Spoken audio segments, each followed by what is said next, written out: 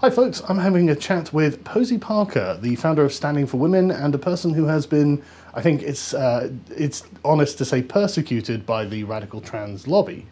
Uh, is that true? Uh, yeah, I've been interviewed under caution by the police twice. You know, yeah, I guess that's Welcome true. to the club. Um, so you you you found yourself uh, running afoul of the intersectional feminist lobby. Uh, Would you like to just tell us about your background and how these people ended up getting introduced into what it is you do? Um, so my background is literally uh, nearly 18 years ago. I had a baby and then I stayed at home, and uh, and I've got four of them.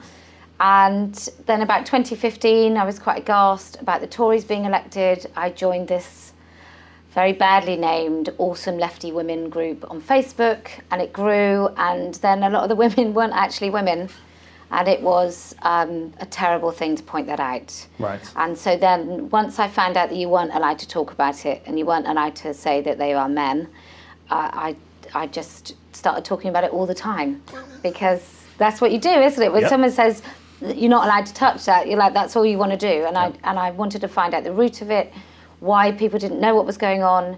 Then I stumbled into the IOC stuff, the inter, um, the Olympic Committee rules allowing men to compete.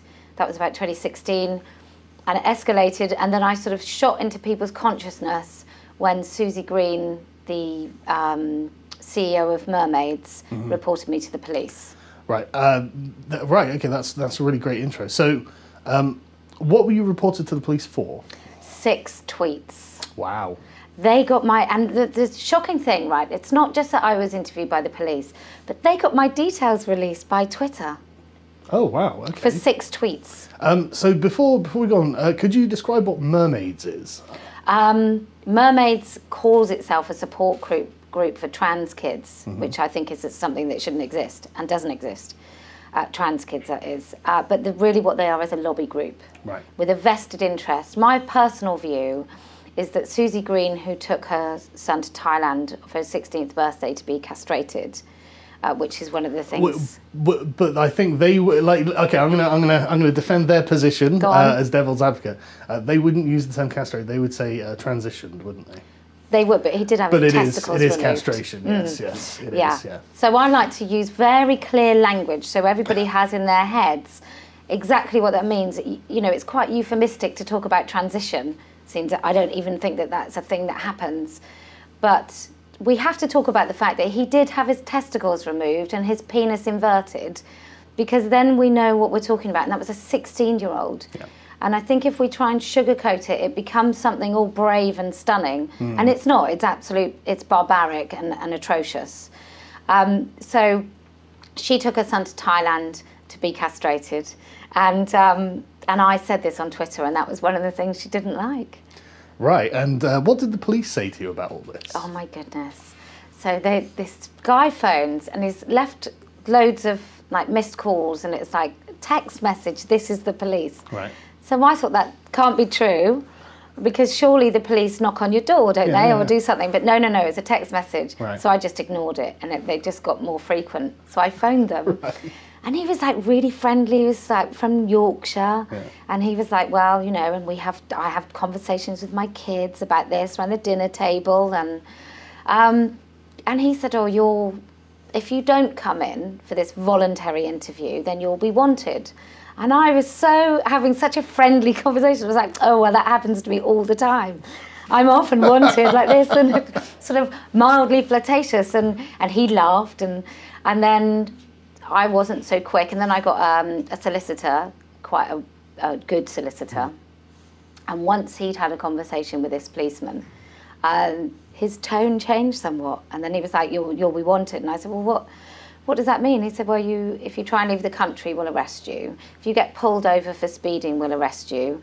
Um, and if, you, if we still don't get to you, then we'll come to your house and we'll arrest you in front of your family and you'll sit in the cells. Oh, that's a very voluntary interview. then. Yeah, it is, Uh, I, yeah. I just want to say, I got the same thing myself. Um, when when Jess Phillips reported me to the Birmingham police, they sent they sent me an email saying, you know, can you come for a voluntary interview or you'll be wanted? And I was like, okay. So I, I spoke to a friend of mine who's a, a lawyer, and she said, don't go, don't do it. You know, make sure they they you know issue a proper warrant. But I, I went up there and uh, I I spoke to the Birmingham police about the nonsense that's going on on the Yeah, internet. yeah. And I mean, you you could tell that they they thought like because it was a joke I'd put on my YouTube channel, and they're, they're playing this this blooper reel of jokes that I'm telling, saying you saying this was a joke. I'm like. How is it not? You know, like, but but by the and so I essentially I had to go through like for about two hours and just explain everything that had led up to this point. And you could see their eyes rolling back in their head, thinking, "Oh God, this is above my pay grade." You know, this is this is like you know nonsense on the internet sort of thing. And eventually they just dropped it. So yeah, I was quite lucky really. Um, but what happened with you? Did you go in? I went in, I did no comment. I felt Right. like I was in some sort of fantastic movie. Um, and I was this brave woman. And I just, I was quite defiant. I was really quite, I, I treated them with quite a lot of contempt Right, because right. I, how dare they waste my time? Yeah. um, when just down around the corner is like some trafficked women in a brothel, and I think they should be spending time doing that. And so um, they, it was about an hour and a half, and then they tried to charge me, but it didn't work with malicious communications, public order offences, nuisance, conspiracy, because somebody else shared my opinion, and I discussed it. What? Uh, yeah, no, uh, like But conspiracy to do what? I don't know. Because it's an Say transphobic things. I have no Oh. idea. Right. Okay. Yeah. But Everyone- I'd, I'd also that these days. misgendered and it was hateful. So there's a man, there's a man called Janet Mock who, Right, who yeah. is quite well known. Yeah. Um, and he had said that it's validating for trans girls, so that means teenage boys, Yeah. it's validating for them to do sex work, uh, to validate their gender identities. And so he's basically talking about kids in prostitution. And I had said something Right. about that, and that was hateful, transphobic. I, I can believe that that is transphobic. I honestly do. That's mad, though. I mean, this, this is the same thing with the uh, the grooming gangs. The the same kind of opinion, isn't it? Because I, I mean, like with you calling it castration, I call them Muslim rape gangs because Yeah. that's what they are, Yeah. and I'm, I'm sick of the euphemisms, and uh, I, I also do it deliberately to be offensive. Um, but it's true, you know, it's a, it's a it's a honest truth. But the, the police were saying how um, they had issues from orders from the Home Office that they were to treat these girls as if they'd made a life choice, and it's like, but this is a 12 year old girl Yeah. being pimped by gangs of Muslim Pakistani men. Mm. Like that, that's not a life choice. And then when you read like their accounts of it, when they finally get out of these terrible situations, they're like, look, I didn't have control over my life. They would threaten me and they would beat me and brand me sometimes and things like this. I mean, it's it's a true house of horrors that's going on in this country, and we're not supposed to talk about it. No. it's really quite awful, isn't it? But we are supposed to talk about tweets Yes. and hate speech, just not hateful actions. yes. Um, if you're protected uh, by maybe causing racial tensions, if we bring, if we talk about it. Well, that yeah, that's I, I I hate that I hate that terminology. It's like, well, if we arrest these child rapists, we'll cause racial tensions, and I mean that, that I don't think they understand what they're saying there. What they're saying there is that the Muslim community is permissive of these rape gangs. Yeah. And if you address these rape gangs, you're you're being a racist. Yeah. It's- and I don't think the Muslim community thinks this. You know, uh, at least not largely. You know. No. But that it's it's amazing how then they end up giving cover and support to child actual child rapists. including feminists. So Yeah. I've been told off for my racism for saying, look, we, as in we as in feminists, not that I am one anymore, but we are allowed to talk about rape culture and the way that men behave in a general. I thought that was the point. but we're allowed to talk about that, but Yeah. we're not allowed to talk about specifically Yeah. uh, rape culture within a subculture of men in the. I just don't. We know that in Pakistan there are baby girls in carrier bags on rubbish tips. Yep. We know that if we were to go there, we would feel more vulnerable than, than living walking down the street here. But we're not allowed to talk about it. you, you would probably get in trouble. Uh, I've, I've had lots of friends who've been to majority Muslim countries, and they, they, they just describe the, the social atmosphere as being very, very different. Yeah. Uh, I mean, a friend of mine, um, when he was 16, his, his father went to Saudi Arabia, uh, moved to Saudi Arabia for two years to do some uh, military contracting, you know, some work out there. And uh, the, the very first day, they get off the plane, they're walking around, and the police of vice and virtue uh, storm up to his father, put finger right in his face, control your woman because his wife didn't have her hair covered. And that was massive no-no. And uh, before before me and my wife were together, she had gone to Tunisia for a holiday, uh, but she hadn't gone with a man. It was on her own, and she was harassed constantly Yeah. by literally everyone men in the street the hotel uh, bellboys things like this Mm-hmm. they'd ring up her room at night and stuff and, she, and she's just like no leave me alone you know and, it, and it's it's a totally different Yeah, worldview that's men. It's not particularly those countries. That's all men. yeah right it's like the, I, I don't I, I really don't think british men tend to act that way Absolutely not. It's really, I, I just, I don't understand the cognitive dissonance when these, when many of the women that I talk to about this, they recognise it elsewhere, Yeah. but then they lose it when it, with the fact that uh, was it Copenhagen where loads of women were grabbed um, oh one uh, Year's no, uh, Eve, uh, cologne in Cologne, Germany. but we weren't allowed to talk about that. Well jess phillips said that it was like an average night out in birmingham Oh yeah. Which I mean, Birmingham's a city with high immigration, so maybe she, you know, maybe, Maybe she's, she's right. Maybe she's signalling to the uh, to the populace there or something. I don't know. You know, I mean.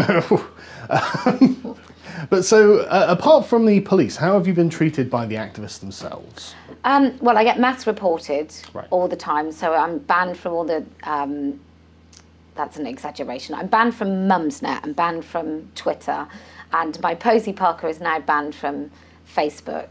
Uh, So I get, I do get threats. I mean, I got 50 messages to my mobile. I don't know how he got my number.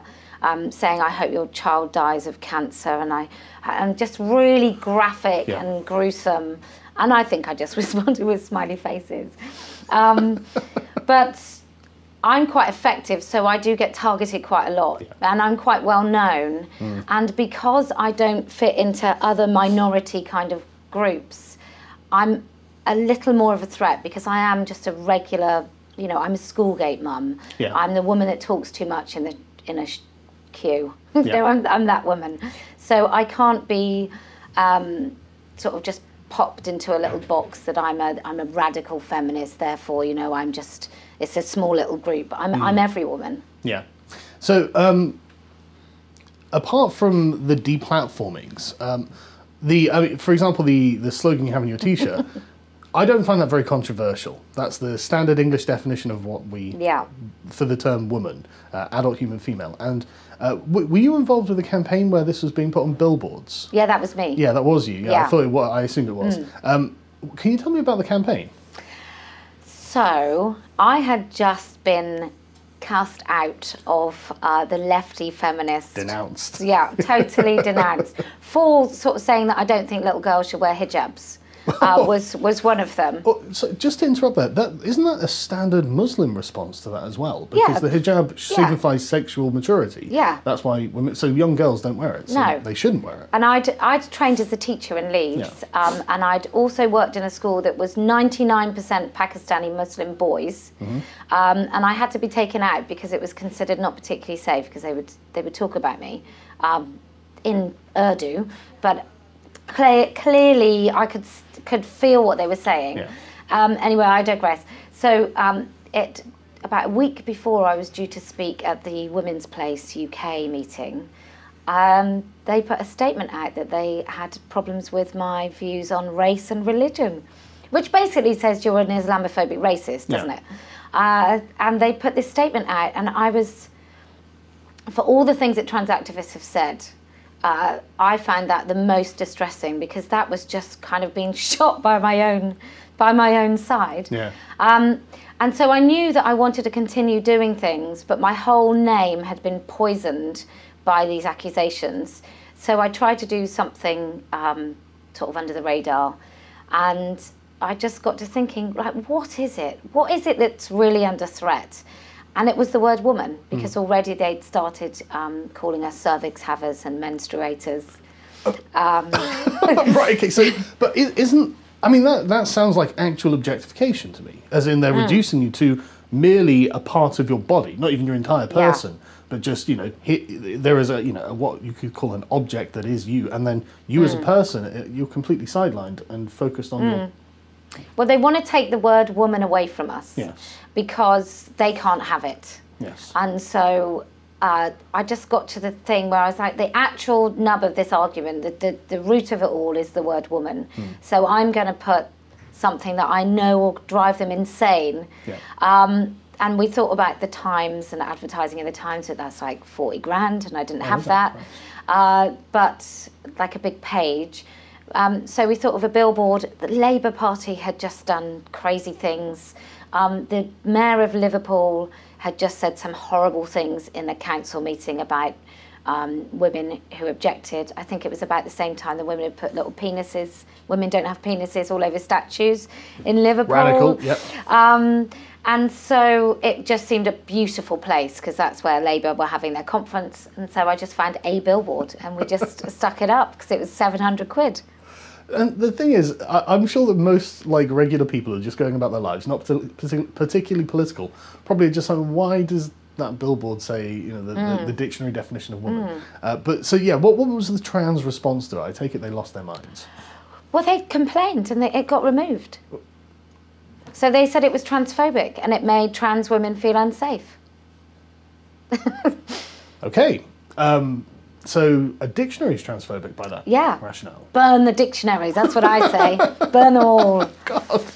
Okay, so uh, uh, and and you are obviously not allowed to enter any of these spaces now. You're persona non grata, presumably. Yes. Right. Okay. So what what is it that you um what is it you you're actually trying to achieve? Because like. The, I think that they, that what they, they they've got a very uh, clever method of effectively never defining you by your own terms and never never you know so they control any narrative that's woven about you. Um, and so I've only ever heard negative things obviously but I don't believe them because I know the people who are saying these things are congenital liars and Yes. I have long experience of this. Uh, so but what, what is it you'd like to achieve exactly? I'd like to achieve the complete um, uh, halt of the erosion of any women's rights. And by women's rights, I don't mean separate to men's rights. Hmm. I mean that sexed segregated spaces, which I think both sexes actually enjoy, Totally I think they should be kept. so ultimately, pro segregation I'm pro segregation. I'm practically um, Yeah. a right wing Islamist. Um, but I, I, I'm up Are we for. gonna have to cut that? Sorry. I'm joking. I'm joking. I'm up for my 13 year old daughter not having to worry that she's going to see a penis in a changing room. Radical. I'm up for women who go to prison uh, primarily for non violent crimes not to have to share with a rapist. Um, you know, I'm up for the absolute halt to any transitioning of children, any medical Yeah. intervention, intervention um, of children, and I would include um, children up to sort of 18 um, that's you don't get to make decisions about your body. You don't get to have a tattoo. You don't get to um, start smoking. You don't get to Drink, drink. yeah. Um, so you shouldn't be able to make a decision which ultimately so many people regret. So that's and I want everyone to talk about it. Yeah, I, I, and it is an important conversation to be had because it, it is actually quite wild when you think about it. Like we, we actually don't give children autonomy of their bodies because they're not they're not able to give informed consent Yeah. about what they're doing. And I mean, I just think back to when I was sixteen. It's like I'm so glad this sort of stuff didn't exist then because you know. I, I- I'm sure I wouldn't have. I, you know, I've never felt like I'm not a man or something. But like, who knows? You know, Yeah. if everyone around you is constantly telling you the same thing, and there, I think there is a lot of um, not not. It's not. I, I wouldn't just call it support. I do think that they're being encouraged to go down this route. One hundred percent. Yes. Uh, And I want everyone to know. I think that's the thing. At the moment, we are being coerced and manipulated without consent. So it's not like we're allowed to talk about these things. Hmm. These are being absolutely thrust upon us in our schools. Yeah. Like get them young. And the people that don't want children, that do want children to have autonomy over their bodies, we used to call those people paedophiles because they use a similar language. You know, we we don't Yep. say, well, my 13 year old, well, she's absolutely, she loves Nigel down the road. I know he's 40, but she knows her own body and mind. Yeah, no. So she can make a decision on that. We don't, you know, we don't, we don't do that. it, it is just a lifestyle choice I've heard from the police. Um, yeah, no, you're right. You're, you're absolutely right, and I, I find it I find it very interesting how um, I'm a parent too. Mm-hmm. Uh, you know, I've, I've got a son and a daughter, and you have your your children, and we are concerned about the safety and sanctity of our children. And I notice that the people who are opposing this are always childless, Yeah. and actually kind of hate children. They're very mm-hmm. pro-abortion, and you know, mm-hmm. shout your abortion, all that sort of thing. And I, I do wonder if there's any kind of connection there. You know, the lack of understanding of what a child is actually like from having actually, you know, raised one. Uh, it, it concerns me, and, but what, what concerns me more is that the authorities are actually going along with all of this. Like this Yeah. should be totally fringe stuff. Yeah. You know, no, no, you know, nobody. th- These people, you know, okay, you can have your potty beliefs if you want, but I, I really don't think they should be adopted as a rule for Yeah. for most people because I, I think that they know most people like this. And, and you were saying about the regrets. Uh, th- this is something I, I'm, I'm going to make a bit of a video on at some point because I've seen so many horror stories, like Mm. absolute horror stories, where people have transitioned. It's not been the glorious, beautiful golden land of plenty that they expected it to be. Yeah, if you can if you can believe such a thing, and there's nothing they can do No. because it's it's too far gone. you know. Yeah. Every, the operations have been had, and and just uh, for anyone who who wants to know uh, the sort of thing I'm talking about, uh, there, there's one post that sticks in my mind where this this person was saying that for you know for years they, I think they were like 17 or 18 for for years they'd been convinced that they were a woman trapped in a man's body. So they took the hormones, which themselves are chemical castration, and also greatly increase your risk of cancer, apparently. Um, and then they'd they'd gone through with the full operation, and it turns out that they actually didn't have a vagina. They they they had a hole wanted to heal up, and the, I'm using their words. So Yeah. you know, I'm not. This is not how I would describe it necessarily.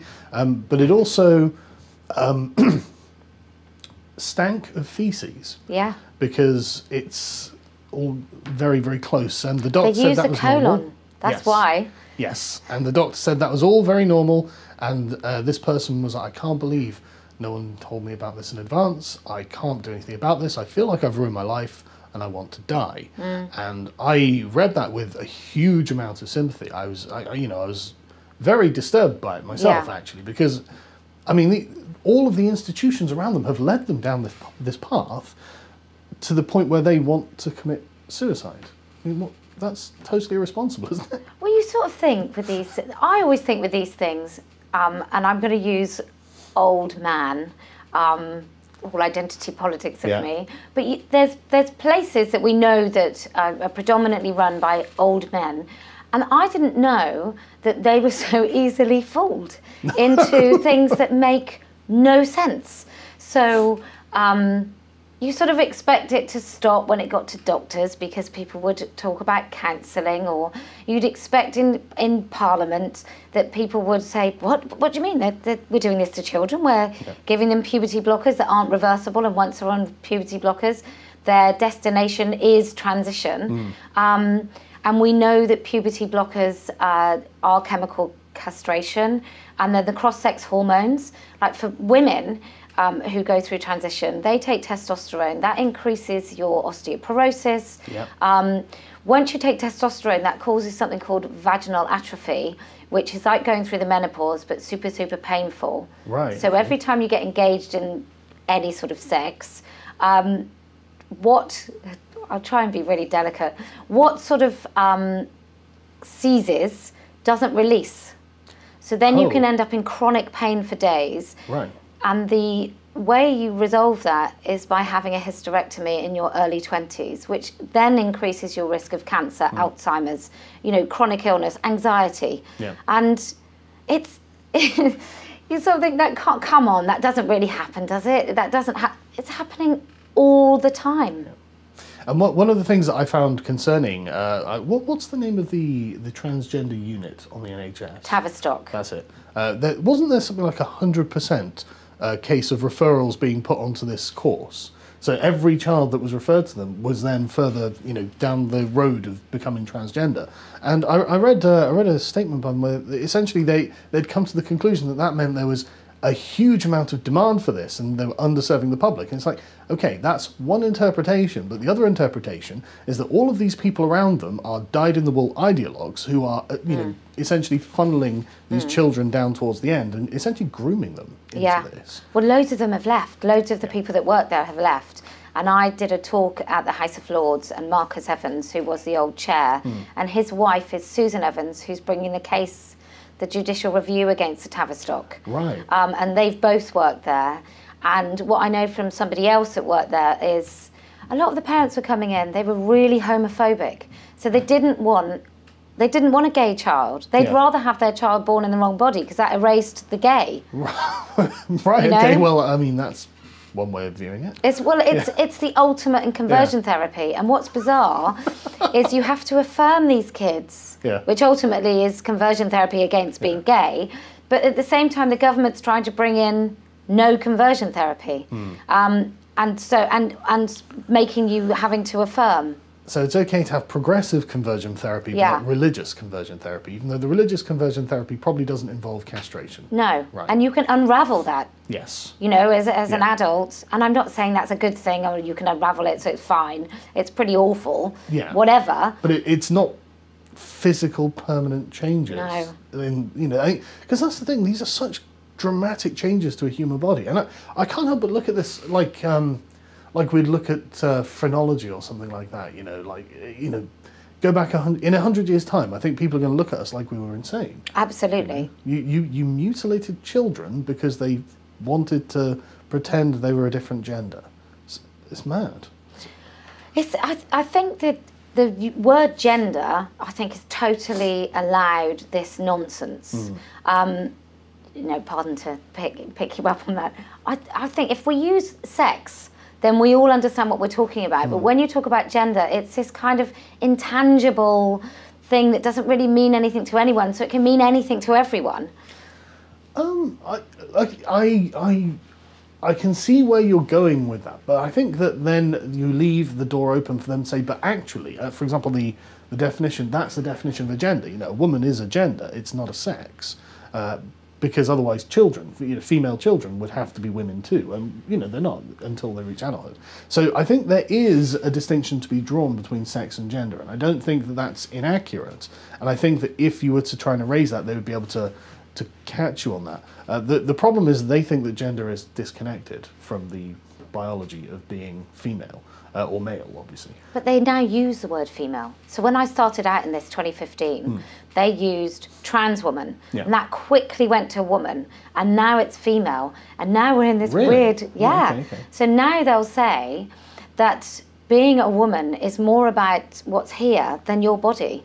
Right. So they've totally erased the, the, the connection Yeah, between yeah. um, gender Yeah. and sex. Yeah, and I, I, I don't agree with that at all. I th- and and I, I, I I spoke to a, a, a chap uh, the other day called Stephen, who's a left wing atheist, and you know they they he agrees with the term trans women are women, uh, but he also agrees that there is a biological connection between female and woman.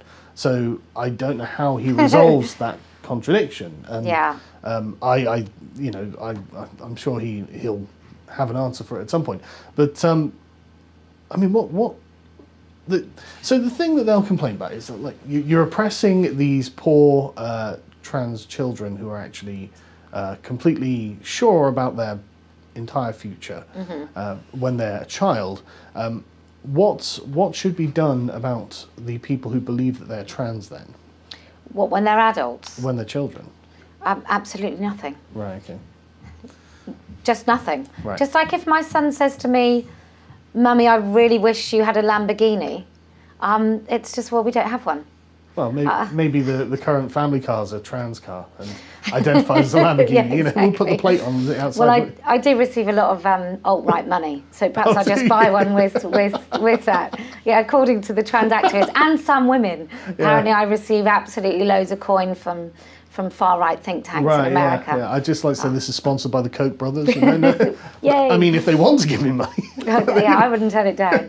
Um, I, I think you just I think you have to level with children Yeah. and just say that it's just it's simply not a thing and lots of people can feel like that Mm. and you know when you reach adolescence and puberty and the world makes a little more sense about how you position yourself um, then you can think again and when you're an adult you can make different decisions I see. I don't mind if an adult, you know, who can make informed consent, uh, uh, make decisions based on their own informed consent. I don't mind what they do to their body, even if it's a terrible idea, in my opinion. You know, it's their body, their property. They they own themselves. You only got one. Go nuts. You know. Uh, but I, I completely agree about the the the. Essentially, the grooming of children to become transgender. I think that's actually terrible.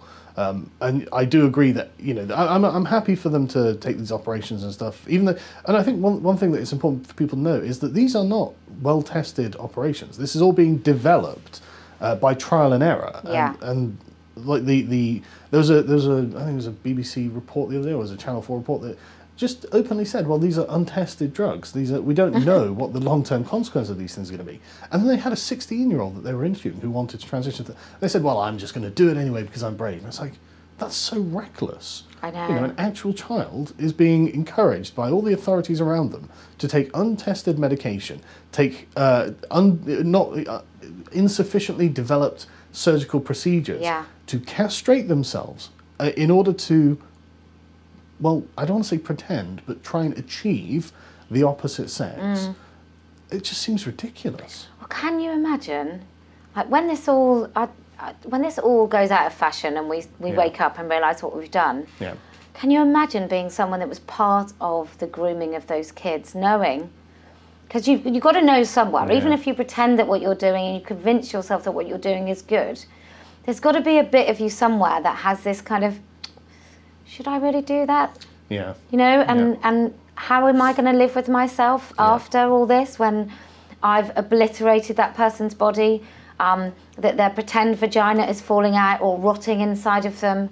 Or um, there's a girl in America and she's had 31 corrective surgeries for the phalloplasty. Right. What, what does uh, that mean? So a phalloplasty is when you have a pretend penis made out of a tube of flesh.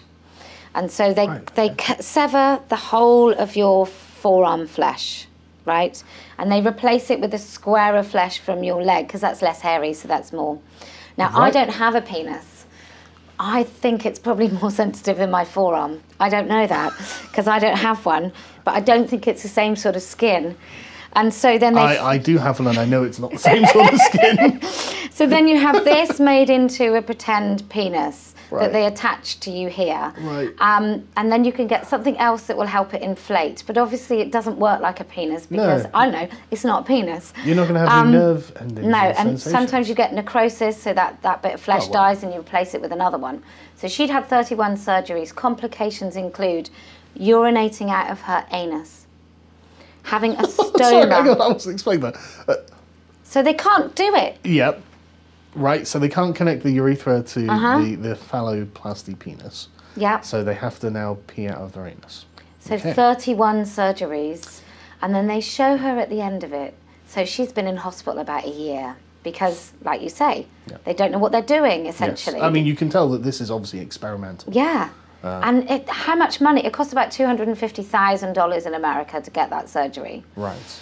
So then she was in the car and she genuinely looked elated because she'd stood up and urinated for the first time. And and everyone in the comments, thousands of comments like, "Oh, you're so brave, you're inspirational." And I just thought I cannot imagine pinning my entire happiness and self-worth on that lie hmm. that won't last anyway. Hmm. You know, th- Yeah, who knows how this all ages, like physically, like, you know, like what, in 10 years' time, you know, how does the, the, the artificial penis even look? it's Or- just so barbaric. yeah, it's, it's, it's, it's, it's pretty extreme. Mm. Uh, and I, I, you see, I, I don't know how much I can say, really. You know, I'm probably in trouble. But so one, one of the one of the interesting things I thought was that Sky News did a report uh, not so long ago that hundreds of people are trying to detransition now because, uh, and I, I spoke to a chap uh, myself when I was doing my MEP campaign. Uh, he he had gone through a portion of the transitioning uh, process. He hadn't gone for the surgery uh, because he wasn't sure about his own gender role because he, he, he was attracted to men and he was very effeminate and essentially I, I don't know if he was groomed into it but he'd, he'd got into the mindset well I, I'm probably a woman trapped in a man's body and then he, he went through a part of it and then realized actually no I'm, I'm just gay and I, and I just am a bit effeminate and that's okay and he'd come out of it then and he wanted to share this story to hopefully help other people who might have been in the same mindset and I think that's probably a common phenomenon what do you think I think it's very. I think it's very common.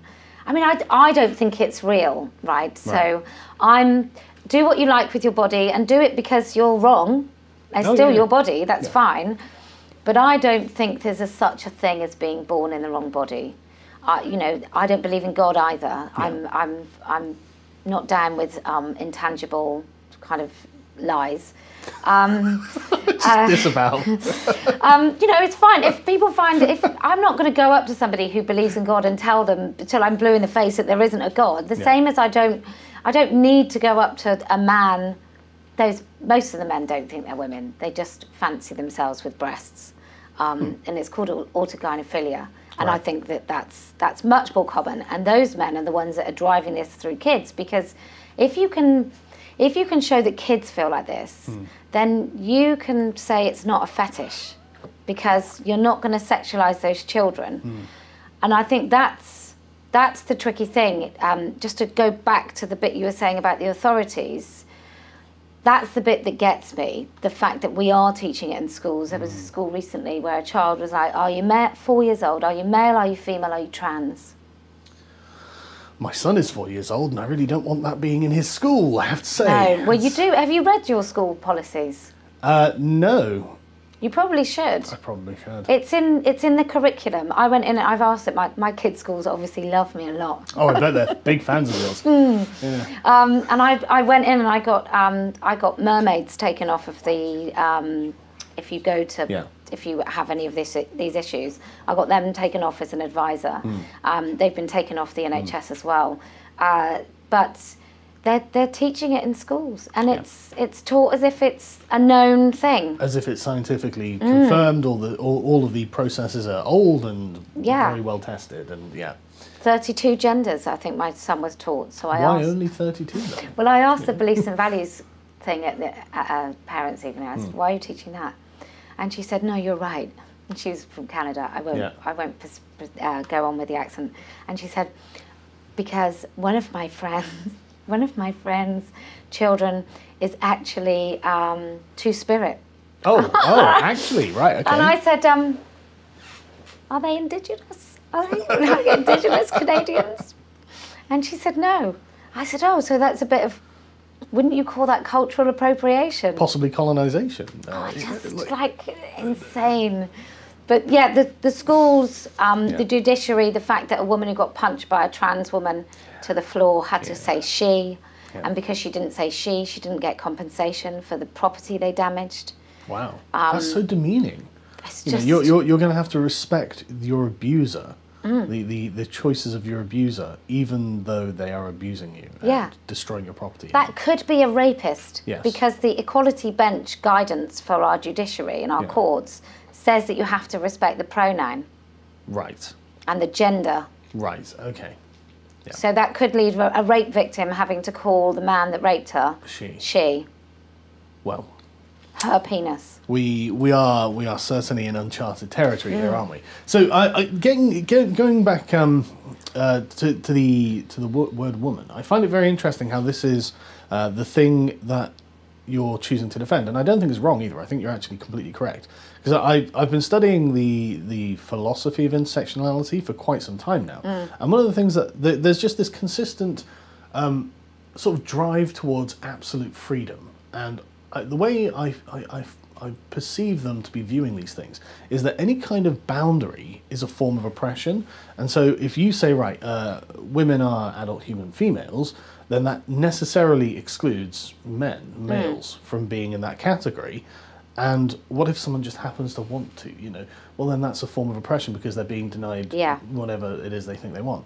And so I, I- I just find it really interesting that that's the thing that you have to defend because it and, and you're, you're completely correct because then when when you have a discrete category uh, you build on top of that don't you? So you have women's gyms and, and this is how you like women's changing rooms. And I, I do agree that men and women should be able to have their own private spaces you know Yeah.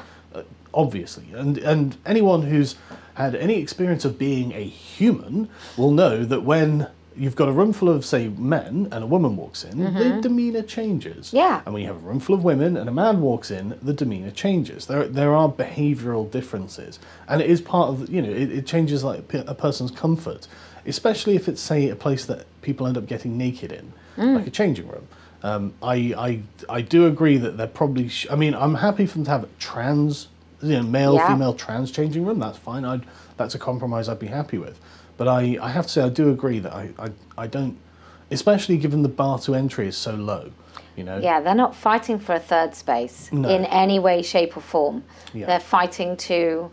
They. Uh, I mean, I talk quite disparagingly about um, autogynephiles because I think they're predominantly the trans activists, and they get a kick out of the discomfort that they cause. Uh, but like 100%, it's like we've got to pretend that that isn't a thing, Yeah. but we know it is. Yeah. You know, there's the, sometimes they're on Twitter, sort of dancing around in a women's toilet just to annoy women. It's um, you know, it's it's and it's the way that they perceive womanhood. It's Yeah. not most most regular men don't think that women go in toilets, share makeup, and have pillow fights. But apparently, apparently, Yeah, like true. some trans activists, they sort of they'll talk about that like this validating thing Right. of these things that they do that they think women do, and women predominantly do things the same as Men, yeah. men. You know, like When, when, I, when I was 19, I, I worked at um, a pub and restaurant in, uh, in a bar in Newquay. And one of the jobs I had was to clean the toilets. And after cleaning the women's toilets, I tell you what, it, it completely destroys any illus- illusions you hold about what women are like compared to men. They're, they are no more, uh, no more sacred in this regard. no. They, you know, they're, they're Oh, just I people. thought we were. Yeah, exactly. But they, they're just people. You know, they they, they leave a mess uh, like everyone else.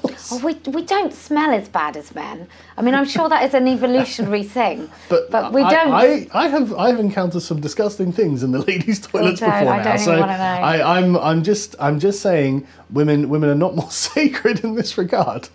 Um, but yeah, so so what's next for you? Um, I think I just want to keep saying it because fewer and fewer people are saying it. Hmm. Um, in fact, I guess more people are sort of fighting it. There's more cases and so on. There's Harry Miller, Yes. um, Maya Forstater, um, and Susan Evans. They're all sort of bringing cases. But it's the institutions that we need to keep attacking. And with a majority Tory government, I have hope that there might be some sort of unified message if we all go and see our nice, MP. The, the, Um, the problem with the Tories, though, is they don't seem to be engaging on an ideological level with the things that are happening. And so, or, like, the, the Tories have been in power for 10 years, and all of this is advancing under Yeah. the Conservatives. And you'd think they would be pushing a more conservative worldview, given that they call themselves the Conservatives. Yeah. And they might, you know, and I, I'm just saying, if there's if there's anything you're going to be conservative about, castrating children Mm. is possibly one of those things that should be top of the list. You know? Yeah, I agree. I asked Maria Miller, chair of the Women and Equalities Committee, what is a woman? And she didn't answer. Same with the Jo uh, Swinson interview Yeah. right on TV. Uh, that was a marvellous car crash. What's a woman? Ten minutes later, she still hasn't defined a. It's so, it, it's just the dishonesty of it. I think Yeah. that's what really annoys me. Um, like at this, so I went to this conservative women's um, Right. very posh lunch, and this woman who looked like the French and Staun- Saunders um, farmhouse stuff and nonsense when they used to cut their fingers off and Right, like yeah. in tweed, and she said, "Oh, I I support trans women," and I said, "Oh, that's great. I support Stunning women." brave, yeah. She said, "I just need you to know I support." trans women. I said, well, I, I understand you support men, um, but I, I support women and, and I'd like women to keep our rights, thanks very much. And so when, I think what happened with the Tories is they did so badly with the whole Section 28 and Mm. homophobia, even though Cameron's the one that brought an equal marriage, Yeah. Um, that I think they thought they had to tick some sort of liberal Mm. box and they just picked the wrong one. And I, I, I think it just comes from that. And also, what's happened is you've got very powerful lobby groups like Stonewall, Yeah. who got gay marriage. You know, what was next? Or let's let's invent this new thing Yeah. to fight. And they got in with how vulnerable grown six foot two men in you know how how much of a challenge it was for them to wear skirts. Right. Um, I mean, new frontiers and human rights. Down with the what it is. matriarchy. Well, I just can you, look. I just don't think if you get up in the morning and put a bad wig on Hmm. and cover your stubble with cake, caked in makeup and Hmm. put on a dress and walk out of your house, I don't think you're vulnerable. I think you're pretty damn entitled, and I think that you. I, I just don't think that's a vulnerable act. A vulnerable act is hiding yourself away and being too fearful to go and kind of charge at the world with this identity, whatever it is. So the way that they, these people have been portrayed as vulnerable is really interesting, um, and I think it's a I think it's an incredibly effective strategy, but I, I think it's a lie. Hmm, Posie Parker, thank you very much. Thank you very much indeed. Thank you.